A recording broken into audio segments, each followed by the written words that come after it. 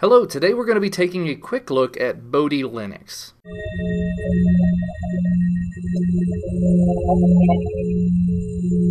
Bodhi Linux, if you're not familiar with it, is basically Ubuntu 10.04 with the Enlightenment desktop interface on top of it instead of the default GNOME or KDE or XFCE or LXDE, whatever interface that you're accustomed to. And the entire point behind it, as you may have noticed from the screenshot slideshow that's going on, is that it's supposed to be excellent performance, very minimalist, easily customizable, basically just whatever you want to make of it. So let's go ahead and take a look at some of the things that make Bodhi really unique in my opinion. Now the first time you start up Bodhi Linux, you'll be greeted with this initial configuration, this initial setup. And basically it asks you to choose your language. There are only two offered initially. We'll go ahead and choose English. It asks you to choose a profile, and there are quite a few here available. See, you've got the bare, and it shows you a screenshot of what it'll look like. It's just a bare desktop with a clock in the center. You've got the desktop, which has a bar across the top, and the application launcher across the bottom. You've got Ecomorph, which is basically the same sort of desktop as you're accustomed to, but with Compiz enabled. You've got Fancy, which just has a couple of extra widgets. Basically, the biggest difference with most of these are the custom widgets that come pre-installed, pre-configured with it. The laptop is a lot like the desktop one, but with a couple of extra laptop-specific widgets. The tablet and netbook one, though, is slightly different and has a lot of interesting features, and we'll look at that in just a minute. But let's go ahead and start off with the desktop one. Just take a look at it. It's got all these different application settings you can choose, different applications you want on your quick launch bar, but basically, that's it we are now at our desktop and ready to start working.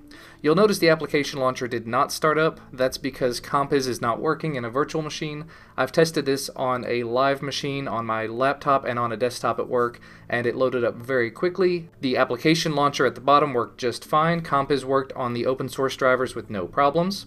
Now one thing that should have happened if that had been the initial setup, and I will admit that was not the first setup, is it should have asked me what theme that I wanted to choose. However, if you want to change that, you can click on the desktop or click on the main menu, wherever you want to go. Go down to Settings and go to Theme, and here are the default themes that you're given. There are more that you can get, you can download them. You see here we've got an online button. But the ones that we can choose from, you see we've got a Beauty Bodhi, which changes everything to a bright gold color a Maria D, which makes everything kind of dark and green, a Sky Bodhi, which is sort of light and blue, a grayish Bodhi, which is kind of gray, a Lux Bodhi, which is kind of black and gold, and the default, which is, of course, kind of a light grayish and uh, black on highlights. And basically, if you're familiar with Enlightenment, this should all be pretty commonplace to you. You've got the Enlightenment menu here, you've got all your different applications that's the other thing about it. Like I said before, it's very minimalist. So the the applications that came installed out of the box were LX Terminal. I've gone ahead and installed Xterm as a part of something else. Uh, Firefox 4 Beta 12. Actually, it was Beta 11. An update pushed it up to 12. Uh, Network Manager, and that's it.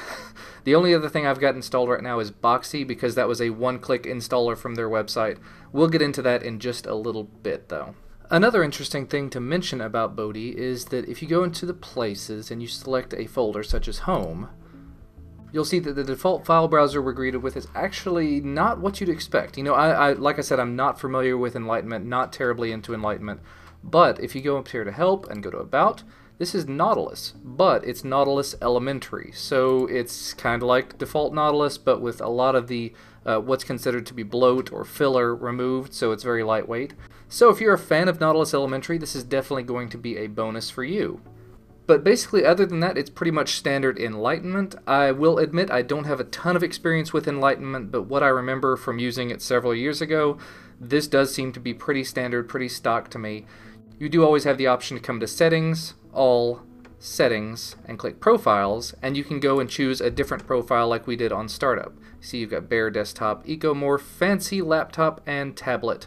So basically, at any time, if you're not 100% pleased with the choice you've made, you can go back in and choose a different profile. That's one of the things I really like about this so far, is it's sort of skinnable, not really, but kind of. Let's go ahead while we're here and take a look at that tablet slash netbook interface. If I hit apply on that, it quickly changes it for us. You see we've got different icons on the desktop now. We've got a slightly changed bar at the top here, and then we've got a much different bar at the bottom. You see here it says switch, back forward, and close. And basically, if I open an application now, It's going to open Firefox, give me a little error because I did it too fast. And then I don't have the top bar on the application like I would normally have, but I can use the back, forward, and close buttons to switch between apps and to close it. So basically, it's an interesting little interface. It's something that I could get kind of used to. You see here we've got the option to go between different apps, kind of like an Alt-Tab if you didn't have it. You've got a button here that gives you an on-screen keyboard that is easily customizable. You see you can change that to the full keyboard. You've also got a button here to do a split screen option. I can do it either vertically or horizontally, doesn't matter, whichever I want. And then you've got home that just goes back to the desktop. Point I'm trying to make here is Enlightenment, Bodhi Linux, very lightweight, very minimalistic, not a whole lot out of the box. If you do want more software, the Ubuntu Software Center is not installed by default, surprisingly enough. If you go down to All, System, there we go, we've got Synaptic Package Manager by default and the software sources where you can add in different Ubuntu software sources. But in addition, the first time you open up Firefox, you should probably notice we're on the Bodhi Linux website, and there's a section here for how to install new software. If I go ahead and open that, it says to get new software, you can go to software.bodhilinux.com. So once we get there, it has a list of commonly installed applications. Here's the full suite of what's considered Bodhi Linux software, a lighter set that has less software in it, and then all the different categories with individual things you can install. For example, browser plugins, Flash, very easy to install. I click Install Now. It takes just a second. It actually runs the apt. You see it, I've already installed it apparently. Uh, the one good thing that I did like about this, though, and I know I'm kind of jumping around, you see the download button here. That's awesome. If I have a different machine and for some reason this one doesn't have network access, I can go to that other machine, click download, and download the flashplayer.bod file, which you see here, it's 4.7 megabytes. It's a completely standalone installer. And you just bring that over, you run it, it's got all the dependencies and everything it will need to make it run appropriately, and there you're up and running. Again, Bodhi Linux, very lightweight, uh, does not come with much of anything out of the box, like I said, very minimalistic. They give you a decent choice of software here on the website.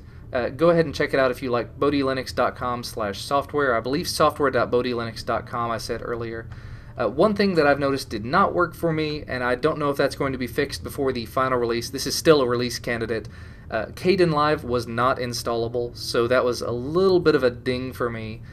But other than that, uh, it seemed to work pretty well. It, the performance was very decent for me. It started up pretty quickly, 10 to 15 seconds on an older machine at work, a little bit less than that on VirtualBox here at home. My laptop was about the same, 10 to 15 seconds, so uh, very decent. One thing I would like to see out of it, and I, I, don't know if this will affect most people or not, is an easy way to install the graphics drivers. Like I said before, the best way to install software right now is either to go to the Bodhi Linux site, which doesn't seem to have the graphics drivers easy to install there, or to go into the system, system, system, Synaptic Package Manager. And it's perfectly possible to install the NVIDIA or ATI drivers through here. But if you don't know what you're doing, if you're a brand new user, one, you're not going to know how to get down to that, and two, it's just not as obvious, I guess. Maybe uh, uh, since there are scripts for other things, there are uh, some common configuration things. There are installers on the Bodhi Linux site. I would like, I would personally like to see uh, an NVIDIA and an ATI graphics installer, possibly even one for some wireless chipsets. I don't know if they're pre-configured or not. I know that my Intel card worked out of the box. I don't believe it detected the Broadcom card in my laptop. But basically, I know this is running kind of long. Uh, very, very impressed with the Enlightenment interface so far. It's, like I said, very lightweight, very minimalistic. Allows you to do with it exactly what you want to do without getting this full giant package of software. But through the website, you do have the option to install a lot of software at a very, very easy one-click installation. And you've got a bunch of different choices for different skinning type options. If you come back into the profiles, you, like I said, you've got a bunch of them available that are very easy to switch between. So, I don't know, what do you think about Bodhi Linux? If you're interested in trying it, I'll have a link to where you can download it in the source code below. If you have tried it, let me know what your opinions and your experiences are. But as always, thank you so much for watching, and I will see you next time.